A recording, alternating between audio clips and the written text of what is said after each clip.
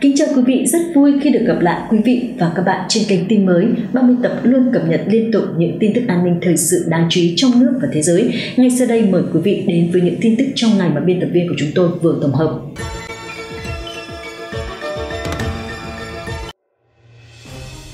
Lộ diện siêu bão mạnh nhất năm 2022.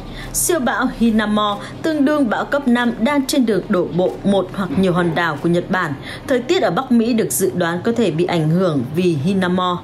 Tâm bão dự kiến đi qua khu vực cách căn cứ không quân Katena ở thành phố Okinawa, Nhật Bản khoảng 150 km vào lúc 19 giờ theo giờ địa phương ngày hôm nay, gây ra lượng mưa lên đến 127 đến 152 mm cùng sức gió giật 111 km/h. Theo trang Star Express, sức gió giật được dự đoán có thể lên đến 275 km/h trong những ngày tới. Hiện chưa rõ liệu Hinamo có tấn công những hòn đảo đông dân cư hơn của Nhật Bản hay không. Tính đến thời điểm hiện tại, Hinamo là bão nhiệt đới mạnh nhất từng được ghi nhận trong năm 2022. Hinamo dự kiến gia tăng sức mạnh xuyên suốt hành trình trên Đại Tây Dương và vẫn là một mối đe dọa đối với nhiều quốc gia trong những ngày tới, các nhà dự báo thời tiết của AccuWeather cho biết.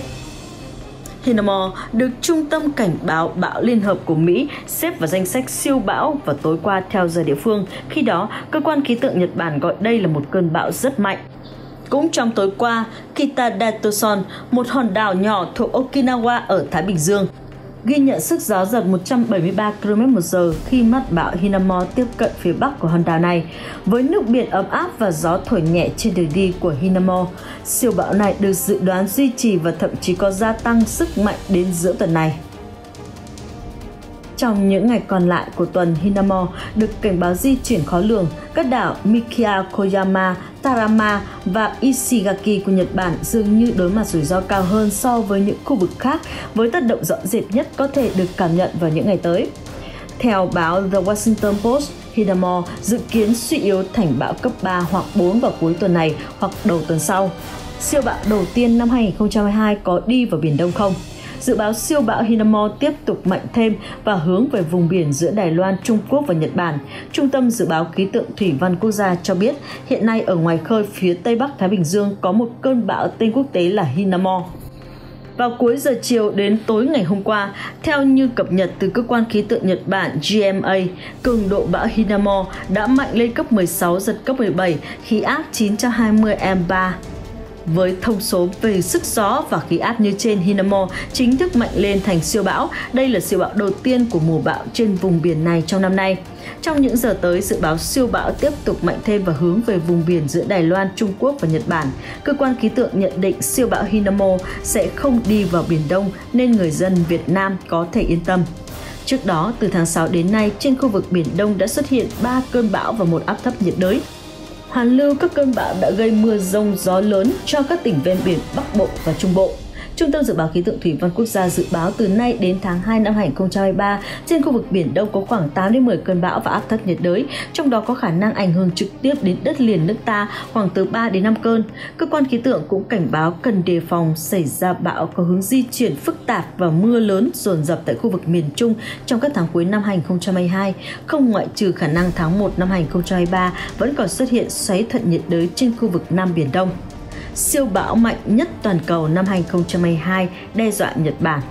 Cơn bão mạnh nhất toàn cầu trong năm 2022 đang đi qua Biển Đông, đe dọa các hòn đảo phía nam Nhật Bản và gây gió dữ dội dọc theo bờ biển phía đông của Trung Quốc. Siêu bão Hinamo hiện có sức gió duy trì khoảng 257 km/h và gió giật 313 km/h theo Trung tâm Cảnh báo bão chung của Mỹ.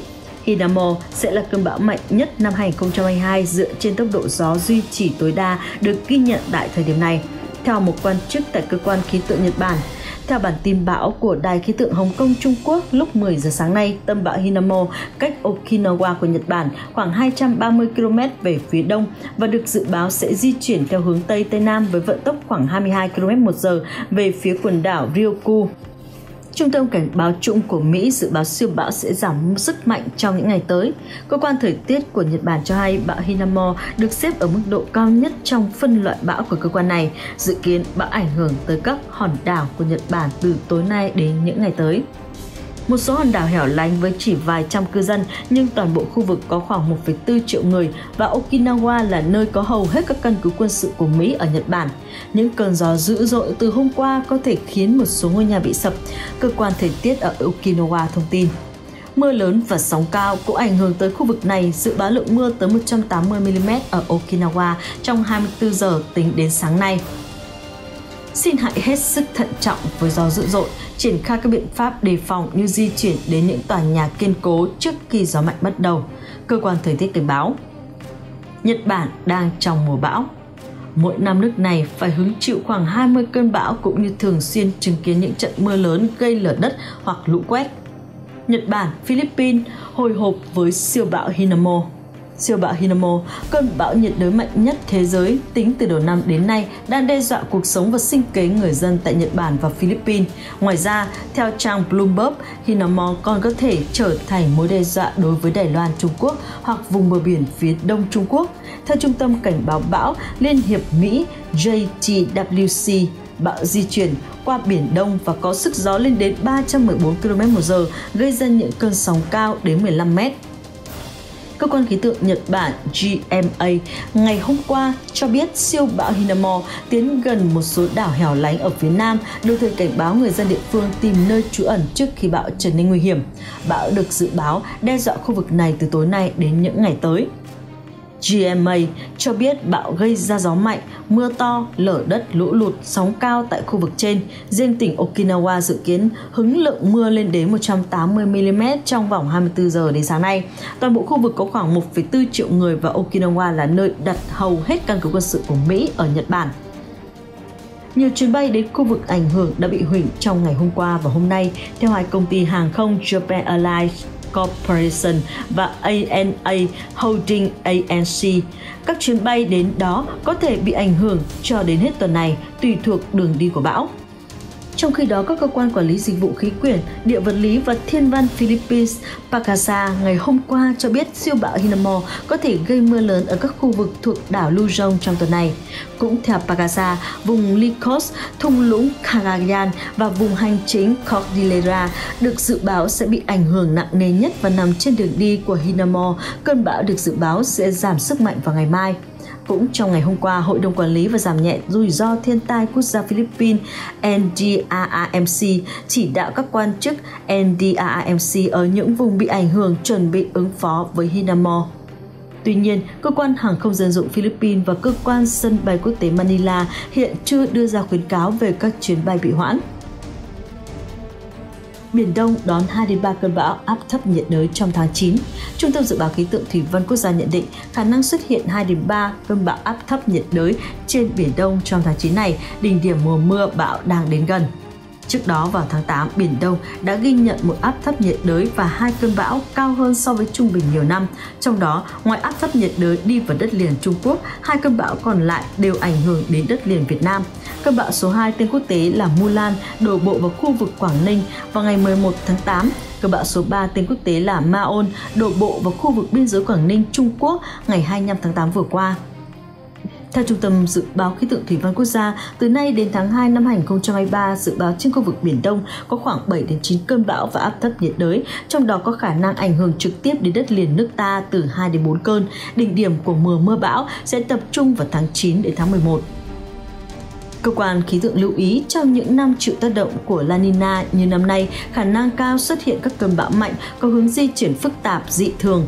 Ngoài ra, không ngoại trừ khả năng tháng 1 năm 2023 vẫn còn xuất hiện bão áp thấp nhiệt đới trên khu vực Nam Biển Đông.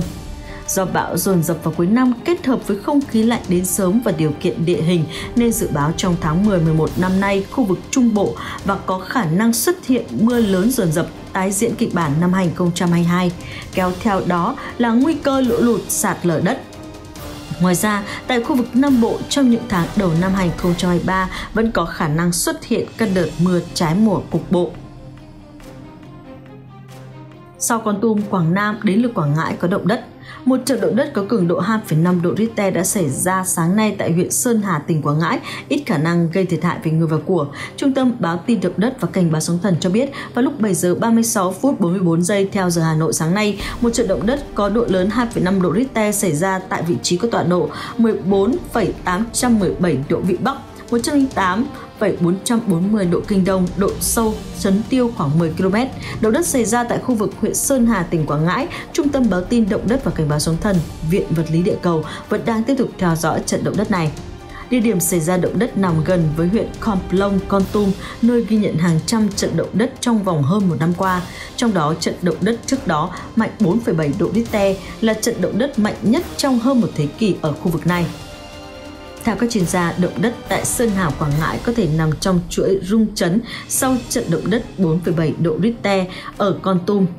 Những ngày qua, động đất ghi nhận được ở nhiều khu vực trên cả nước. Ngoài 16 trận động đất xảy ra trong 4 ngày ở Con Plong, Con Tum, khu vực huyện Nam Trà My, tỉnh Quảng Nam hôm qua cũng ghi nhận một trận động đất có độ lớn 3,0 độ Richter vào lúc 15 giờ chiều qua.